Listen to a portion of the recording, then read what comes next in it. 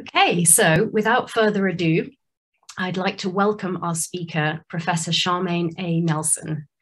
We're so grateful that Charmaine agreed to join us today and to generously share her work in this forum. Her work is absolutely foundational to our own thinking on this topic, and she's made groundbreaking contributions to the fields of the visual culture of slavery, race and representation, and Black Canadian studies. She's professor of art history and a tier one Canada research chair in transatlantic Black diasporic art and community engagement at Nova Scotia College of Art and Design in Halifax, where she's also the founding director of the Institute for the Study of Canadian Slavery. And she's published seven books, including The Color of Stone, Sculpting the Black Female Subject in 19th Century America from 2007, Slavery, Geography, and Empire in 19th Century Marine Landscapes of Montreal and Jamaica from 2016, and Towards an African Canadian Art History, Art, Memory, and Resistance from 2018. Today, her talk is entitled Male or Man, the Politics of Emancipation in the Neoclassical Imaginary. And I know you will all be longing to hear from her now rather than from me. So I will now hand over to Charmaine and I will really look forward to our discussions later. Thank you so much. Thank you so much, Bridget. And thank you, Charles. Thank you both so much for inviting me and welcoming, in, welcoming me into this seminar. So I'm going to screen share, but just before I do, I'll just mention that I will be using some of the colonial terms that we mine in the archives around transatlantic slavery, like Negro and mulatto, for instance. And um, I will be discussing the sexual violence that was endemic or, or prolific within um, transatlantic slavery as well. So just be mindful as uh, viewers and participants that those topics will come up. So John Quincy Adam Ward's Freedman, Thomas Ball's Lincoln Memorial, and Mary Edmonia Lewis's Morning of Liberty, Forever Free, are three sculptures that depict enslaved Black males gaining their freedom. But could these subjects be considered men?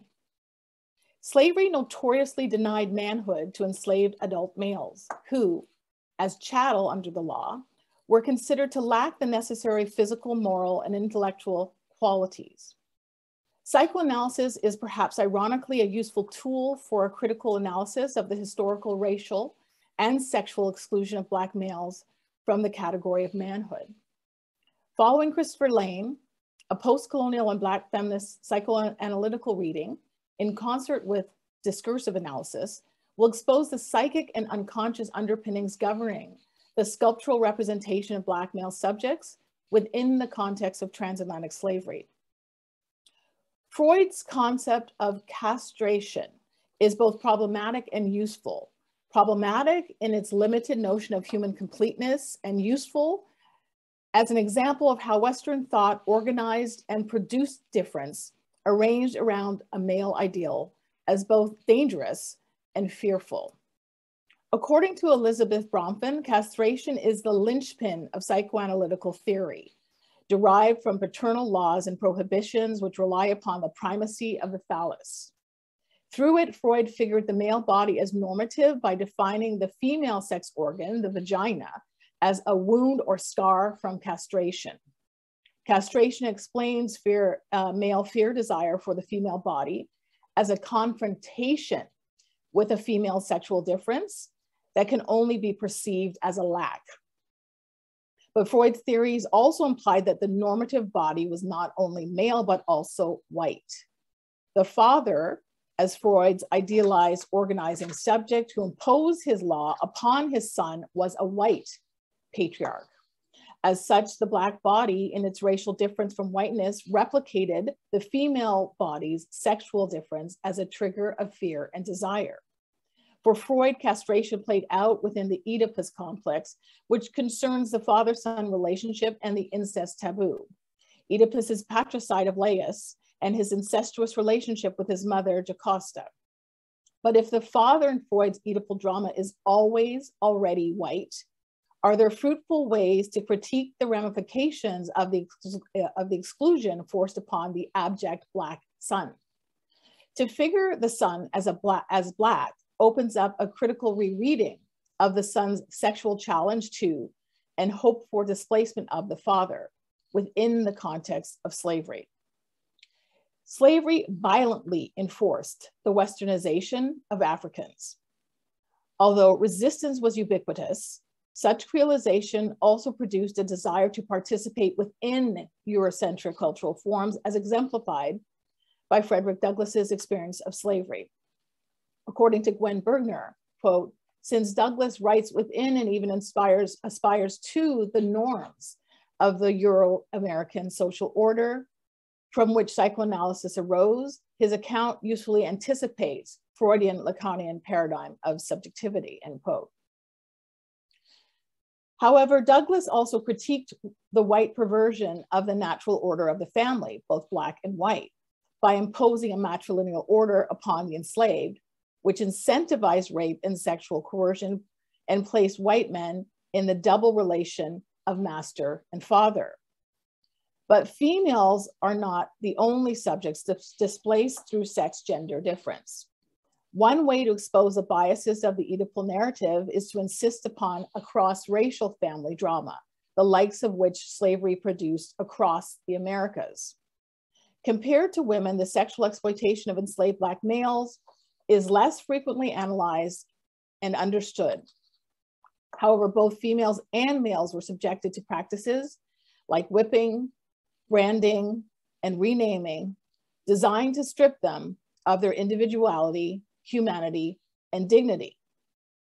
The animalization of enslaved African women also served to formulate them for their role as breeders of new units of labor. However, the sexual burden also extended to Black males. Historical calculations of male slave fertility or slave fertility were made through the visual scrutiny of stature, musculature, and genital size, supposed corporeal signs of health, strength, and virility. As such, both enslaved females and males were often publicly stripped and inspected at slave auctions. The sexual exploitation of the enslaved and the extraction of sex and offspring were seen as legitimate biological byproduct of slavery. Frank Wellesley Pitman has argued that slave owners bought enslaved people through a framework of racialized pseudoscience, which prioritized breeding. So-called healthy Negroes were selected on the basis of a corporeal inspection where skin, eyes, tongue, limbs, and overall physique, physique were assessed. But the sexual violation of enslaved Black males was not limited to white male slave owners. Indeed, Hilary Beckles has found evidence of white female slave owners inspecting the genitalia of Black males at public auctions in Barbados, an act which demonstrates, demonstrates how, quote, white women were acting fully within the epistem epistemological, excuse me, framework, end quote. Such inspections were not merely practical, but also provided a sexual outlet for elite white females who were defined as the sexual possessions of their white male husbands and thus had little control over their legitimate sexuality within the confines of patriarchal marriage. Moreover, white women were further sexually alienated by pervasive white male sexual desire for Black women, both enslaved and free. It is with this racialized sexual history of slavery in mind that I wish to examine Ward's Freedman, Ball's Lincoln Memorial, and Lewis's Morning of Liberty, Forever Free, to question the symbolic, social, and material castration of their Black male subjects. All three artists sculpted newly liberated Black males, but they arguably did not sculpt Black men. I have argued elsewhere that the white Negro type, a light skinned or mixed race Black subject, came to stand for Black females within 19th century American neoclassical sculpture. Not so for the Black male subject. Ward's Freedman articulates a so-called full-blooded Negro physiognomy registered in the full lips, the shape of the nose, and the tightly coiled hair. The nature of the shackle on the man's left wrist and the absence of the one on his right signals the male's recent liberation. the 90 degree angle of the flexed bicep and forearm in tandem with the position of the right foot at the base of the tree stump serve to indicate his physical exertion in the contemplation and act of standing. Created in the middle of this American Civil War, this sculpture, it, this sculpture questions the status of emancipated Black males and their shift from chattel to citizen. Indeed, the pose symbolizes the Black male's political, social, and spiritual transition into manhood. If men were defined by their ability to provide for and protect their families and themselves, as well as to participate in public and civic life, enslaved Africans were blocked from accomplishing these goals. The sculpture poses a critical question to the mainly white art viewing public about their own expectations and fears in light of emancipation and a soon to be post Civil War nation. Ward's sculpture remained a small scale work. And as Kirk Savage has noted, quote, although it received critical praise, the Freedman was never commissioned at full scale and nothing like it was ever erected in public. The one possible exception being Thomas Ball's freed slave crouching, like Mary Magdalene, at the feet of the American Christ, Abraham Lincoln, end quote. While Savage's description of Lincoln as an American Christ speaks to his heroization in the wake of his assassination, his characterization of the Black male figure as Mary Magdalene is an astute recognition of the subject's inferiority and feminization. Ward's former enslaved Black subject contemplates standing up into his manhood. His faraway gaze with uplifted chin across the right side of his body conveys the idea of quiet and intense reflection. In a sense, it is fitting that a work produced midway through the traumatic Civil War does not yet represent the Black male as standing and fully a man, since the success of the North and an end to slavery were not yet achieved. But Ward's black male is also not kneeling, nor is he asking whites, nor is he asking whites to allow him to stand. As the famous British abolitionist Josiah Wedgwood's medallion, Am I Not a Man and a Brother? While the dislocated shackles on the left wrist of Ward's black male subject indicates a legitimate, if precarious freedom, the prominent placement of the two long parallel strands of chains that still bind the wrists and the ankles of the black male in the Wedgwood brooch alerted viewers to his continuing enslavement and acted as a call for benevolent white intervention. While the shackled black male is cast in a servile pose, in contrast, Ward's figure is self-contained, self-liberated, introspective, and although his muscles are flexed in anticipation, oddly still. The freedman is not in a position of gratitude or supplication, but sits still, contemplating an uncertain future. Ward's black male is both powerful and beautiful. Freedman is a black Apollo, the beauty of his muscled form accentuated by the dark bronze medium. Savage has described it, quote, this superb male nude, torso pressed forward like the ancient and ennobling prototype the torso belvedere, his arms and legs locked in one easy circuit of force as they push down against the stump, which has metaphorically held him, end quote. But Black beauty was, for many whites, an aesthetic impossibility as dictated by decades of Western human pseudosciences and racist common sense. And their confrontation with a free, powerful, and exquisite Black man would have been a source of both titillation, and anxiety. Whites were accustomed to exploiting Blacks as chattel, but the broken manacle on the man's wrist, prominently displayed, together with the title, Freedman, boldly announced that he was no possession.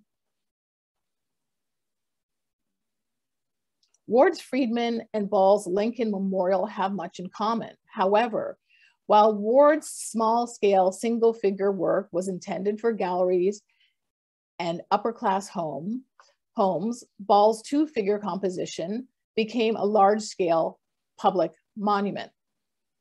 Abraham Lincoln came to symbolize America's self-sacrificing struggle to end slavery, the heroic contributions of white abolitionists, and the birth of a true democracy.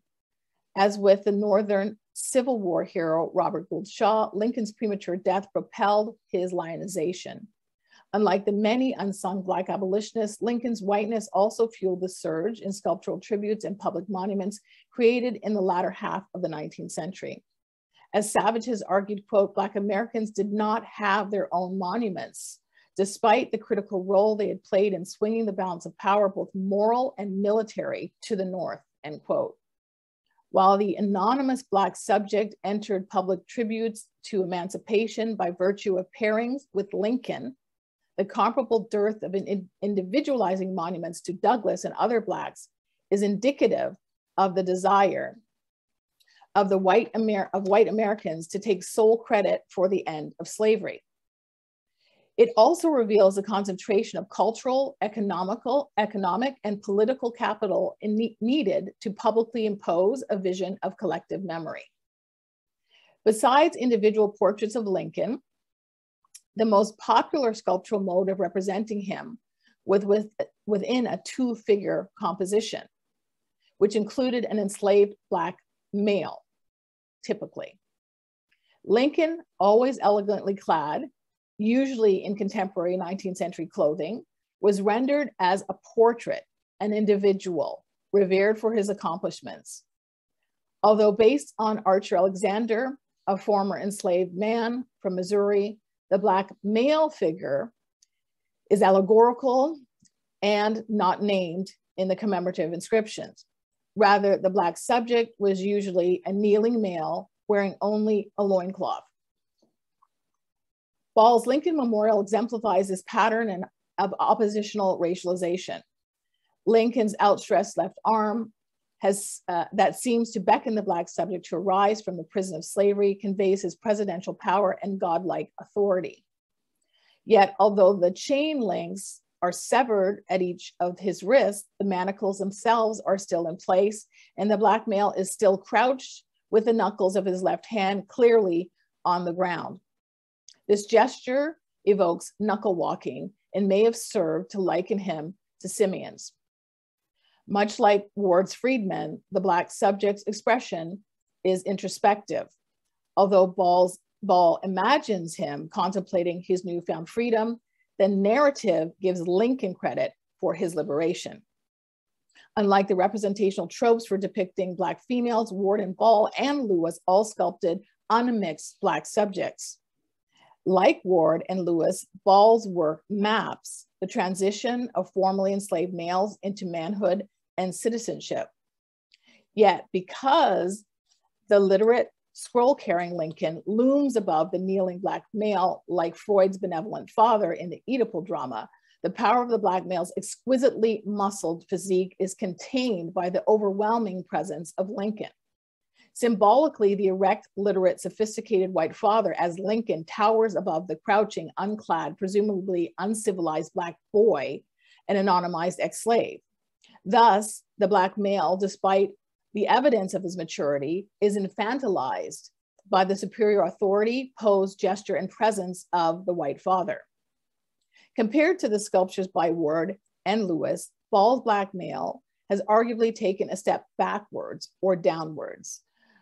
Although also only partially clad, Ward's Freedman is elevated above the ground, not kneeling at the feet of a white man, father, master. His moment of introspection is private and not as a display for a white patriarch or a white audience. In contrast, Ball's stooping black male figure wears two shackles, not one, and a severed chain is visible underfoot. This racially paternalistic and hierarchical composition would have appeased white viewers' fears of Black manhood and a renewed Black masculinity unfettered by emancipation. As a principal orator at the unveiling, Frederick Douglass needed to walk the line between honoring the man now seen as a martyr and speak, speaking truthfully about Lincoln's political antipathy to Black Americans. The speech was audacious in its honesty. Addressing the large multiracial crowd, Douglass stated, quote, it must be admitted, Abraham Lincoln was not, in the fullest sense of the word, either our man or our model. In his interests, in his associations, in his habits of thought, and in his prejudices, he was a white man, end quote. Indeed, Douglass presented a brutal tally of Lincoln's political shortcomings in terms of his lethal neglect of Black Americans, while positioning Blacks as peaceful, patient, and tolerant in the face of white racial hatred. However, Douglass explained that the seed of Lincoln's social and political transformation was his dedication to the pre prevention of the spread of evil of slavery within the United States. Therefore, while for Blacks, Lincoln had delivered them from bondage, for whites, he had saved the Union. While Douglass characterized Lincoln as a great man and the first US martyr president, he also claimed newly emancipated African Americans and their blood bought freedom as the source of the commemoration. Douglass claimed that Lincoln's wise and benefic beneficent rule allowed for Blacks to see themselves, quote, gradually lifted from the depths of slavery to the heights of liberty and manhood, end quote. However, Douglass, like the Black art historian Freeman H.M. Murray 30 years later, no doubt noticed the unfulfilled Black manhood figured in Ball's monument. As Murray noted, the sculpture, quote, showed the Negro on his knees when a more manly attitude would have been indicative of freedom, end quote. Edmonia Lewis's Morning of Liberty, Forever Free is a striking example of the representational possibilities, limits, and differences between the Black male and female subject. The sculpture was one of two ideal works that Lewis completed very early after establishing her Roman studio in 1866. The other work, now lost, the freedman, the freed woman, excuse me, on first hearing of her liberty from 1866, represented a boy with his prayerful mother, whose clasped hands, broken shackles, and kneeling pose was undoubtedly informed by the Wedgwood cameo mentioned above. In Forever Free, Lewis couples a kneeling female figure with a proud male standing with his arm raised jubilantly while his foot tramples a metal ball still attached to the links of a broken shackle. The remnants of the broken chains alerts us, much as in the works of Ward and Ball, that the liberation of this couple has just occurred. Together, the pair symbolizes the faith, struggle, and resistance of those who had triumphed over the tyranny of slavery. Whereas the kneeling pose in the Wedgwood brooch had previously evoked the Black man's request to enter humanity through white benevolence. Lewis's female coming in 1867 after the end of the Civil War could no longer be read as beseeching. Rather, her pose signals gratitude to God and not to whites for a liberty already received. Furthermore, Lewis's standing adult male, unlike Ward's seated male and Ball's kneeling one, has arisen.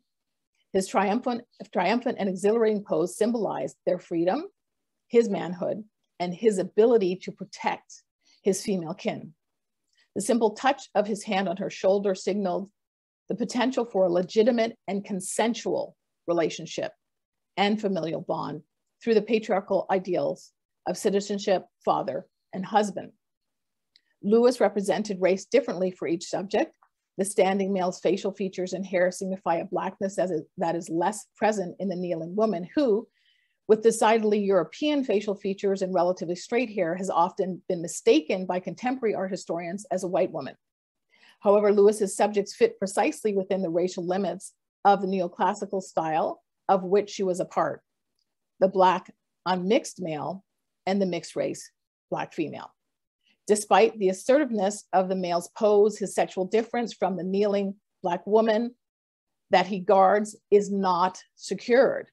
But his manhood is challenged not as in Ward's and Ball sculptures by the Black subject's hesitant countenances, poses, or expressions, but by the literal lack of a penis or a phallus. An examination of the V-shaped marble folds of the cuffed shorts that culminate in his groin indicate a lack of genitalia. From the right side, his missing genitalia is arguably even more pronounced due to his pose, which highlights the empty space of the missing genital bulge. There is a similar lack of anatomical veracity in the representation of the lower portion of the male subject's left leg. As an art form based largely upon the credible representation of the human body, an elision of this type was significant. While the line of the gastro, sorry, gastrocnemius, the larger bulging calf muscle, appears undifferentiated, the medial, meli, sorry, malleolus, the ankle bone, which should stick out at the base of the tibia, disappears within the fleshiness of the foot. Whereas the upper body demonstrated Lewis's skill at a more accurate rendering of the pectoral muscles, biceps, rib cage, and stomach muscles, the flatness of the front of the emancipated man's pants announced the conspicuous absence of the male sex organ. However, this material omission did not symbolize Lewis's desire for a parallel social disenfranchisement or, in the Freudian sense, castration, which one might associate with Ward and Ball. Rather, the dramatic absence of accurately sculpted genitalia indicates Lewis's exclusion from the study of human anatomy a standard of 19th century art education for white men. Unclothed human subjects dominated the themes of 19th century neoclassical sculpture. A quick scan of this sculptural archive also reveals a plethora of male and female nudes that are religious, mythological, and allegorical, ideal, or even portrait figures. The mastery of the human body was attained through rigorous study in two domains the first, life drawing classes from unclothed models through art education. And the second, human anatomy lessons through the study of skeletons and cadavers at medical schools. As one author summarized, quote, few medical men are so capable of pronouncing upon certain points and shades of anatomical precision so surely as a deeply accomplished sculptor, end quote. However, the combination of male only institutions and the racial segregation of 19th century American education left both pathways closed to Lewis, a woman of African and indigenous ancestry. White elite males gained unimpeded access to both domains. Prolific, while, sorry, elite males gained unimpeded access to both domains. Prolific sexism prevented female access. While male sculptors were particularly outraged when their white female peers sculpted the male body. For instance, Thomas Crawford condemned Harriet Hosmer as follows, and I quote, Miss Hosmer's want of modesty is enough to disgust a dog. She has had casts of the entire model made and exhibited them in a shocking, indecent manner to all the young artists who called upon her. This is going it rather strong, end quote. Similarly, a panel of male judges stripped Anne Whitney's first place award for a national competition for a memorial dedicated to the Northern senator and abolitionist Charles Sumner when they discovered that she was a woman. At issue was her knowledge of the male body that was revealed in Whitney's sculpting of Sumner's legs. For Lewis, even more so than for her white female contemporaries, all of whom were summarily dismissed under the unflattering moniker the white marmorean flock by the novelist Henry James, access to this compulsory anatomical study took circuitous routes.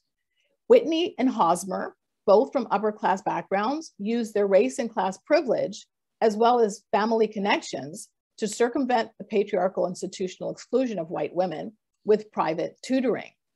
In comparison, Lewis's highest level of formal education was a short period at the racially integrated coeducational Oberlin College in Ohio. But Lewis's time at Oberlin ended disastrously when in the winter of 1862, she was accused of poisoning two fellow female students. In the time that Lewis was enrolled, there is no indication that she studied sculpture or anatomy at the college, although she did produce a noteworthy drawing of the muse Urania as a gift for a friend. Lewis regrouped and moved to Boston, where she was able to realize her dream of becoming an artist before earning the funds to sail to Europe. but extended formal training was again in, inaccessible to Lewis in both contexts, in part due to the institutional barriers, but also due to her legitimate fears of being accused of fraud. As a woman of color sculptor, Lewis's intellectual and aesthetic ambitions did not align with the low expectations in which the dominant white society sought to confine her. Lewis took to working by herself, completing all aspects of the sculptures without studio assistance.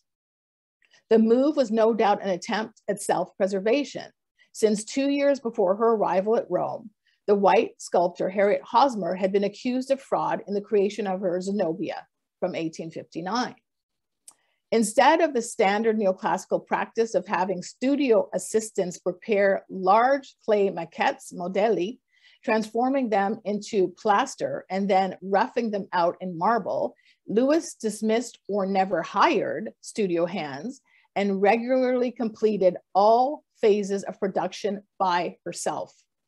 Thus, while the labors of her fellow sculptors were mainly absorbed with the conceptualization of the work and the production of small scale clay maquette or bozzetti, Lewis dispersed her energies across all stages of production. It is unclear if Lewis gained intimate knowledge of male anatomy from her personal relationships or sexual experiences. Furthermore, no records of a marriage have ever been found. Lewis undoubtedly would have heard of the heterosexual scandal that had ruined Louisa Lander, ruined, excuse me, Louisa, Louisa Lander's career a few years before Lewis's arrival in the Roman colony. Therefore, it is unlikely as a woman of color whose sexuality was fundamentally stereotyped that she would have risked an extramarital relationship. Without a male lover or husband, Lewis's personal life probably did not allow for exposure to the adult male body. The absence of genitalia in Lewis's black male subject in Forever Free strikes a sharp contrast from the overemphasized genitalia of Jean-Baptiste Belley, a Senegalese-born, formerly enslaved man, Dominican landlord, and businessman. Leaning casually against the prominent marble bust of the recently deceased abolitionist, Raynal, Belley's hand and fingers direct the viewer's gaze to the large bulge on the right side of his cream colored breeches. The contrast between the immovable white bust and the animated, colorful body of the black male further served to emphasize Belley's anatomy as real. Although the portrait gave Belley a level of dignity through his individuation and the specificity of his formal attire, the prominence of his genitalia may have served a reductive purpose. In the eyes of white viewers accustomed to theories and visual representations of Africans' racial inferiority and sexual deviance, Belley's exaggerated genitalia served to primitivize him, reducing him to his penis or phallus, especially through his juxtaposition with the white male symbolized by a brain or a head. Paradoxically, this sexualization of the Black male coexisted with an infantilization, the excessive Black male sexuality supposedly resided within a childlike form that required the guidance and discipline of the white father. As such, a so called normal Black manhood, which was neither hypersexualized nor neutered, remained largely out of reach in this art form and in this period.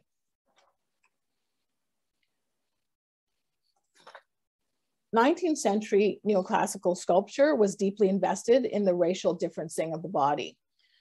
I have introduced a post-colonial and Black feminist reading of the psychoanalytical concept of castration and the Oedipal moment to address the missing phallus or penis in the works of Ward, Ball, and Lewis in order to open a conversation about the social, material, and symbolic emasculation of Black male subjects.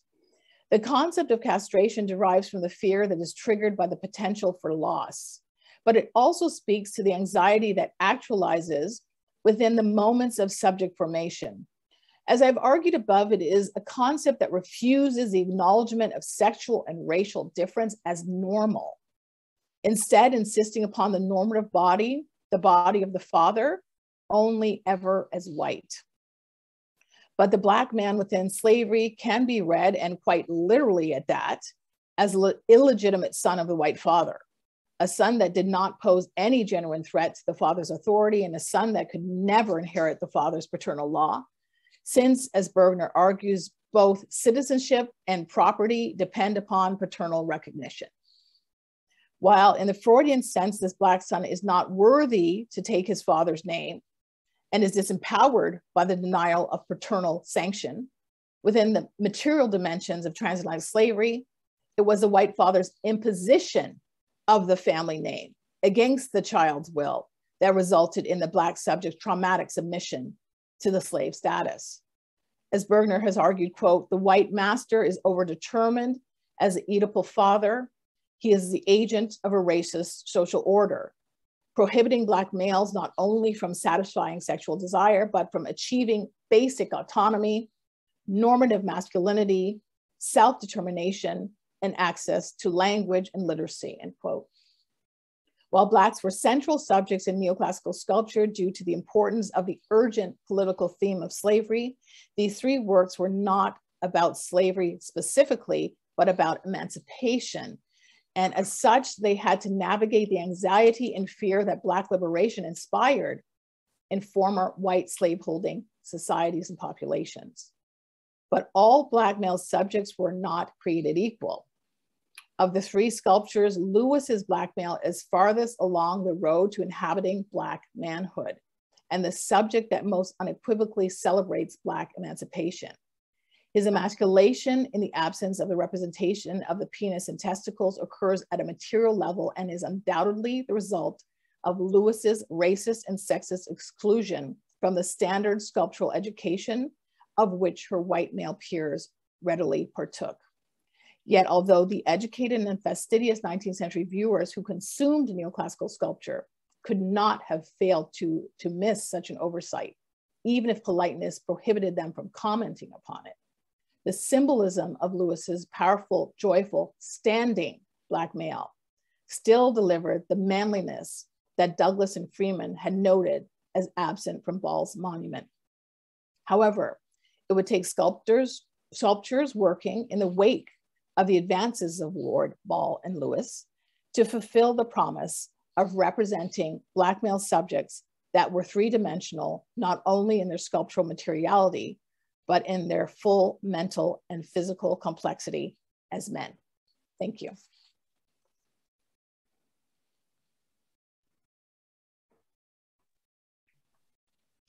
Thank you very much, Charmaine, for such a wonderful and thought-provoking um, presentation. Um, it really sort of offered me a lot of um, new directions to think about um, representations of Black bodies, especially in the context of, um, of North America.